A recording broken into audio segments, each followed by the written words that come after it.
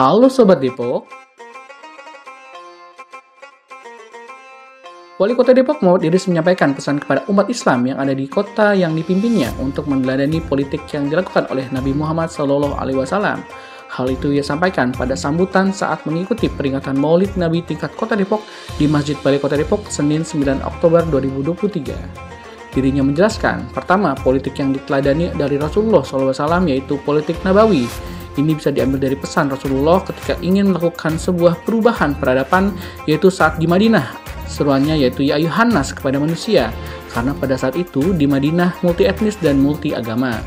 Di sinilah politik yang dikedepankan adalah politik nabawi, politik kebangsaan, tujuannya mewujudkan kedamaian dan kerukunan. Selanjutnya yang kedua, politik pemberdayaan. Sebab tujuan pemerintah ialah untuk mensejahterakan rakyat, Ketiga, lanjutnya politik silaturahmi, seperti para wakil rakyat yang mengunjungi tokoh masyarakat setempat. Dan yang keempat, politik spiritual, yakni dengan meningkatkan spiritualitas. Tentunya dapat meningkatkan spirit bela bangsa, spirit kinerja, dan lain sebagainya.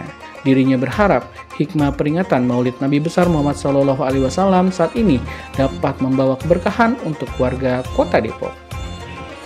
Ya, eh, seperti yang saya jelaskan, ini salah satu pemerintah kan adalah juga bagian daripada politik, politik pemerintahan.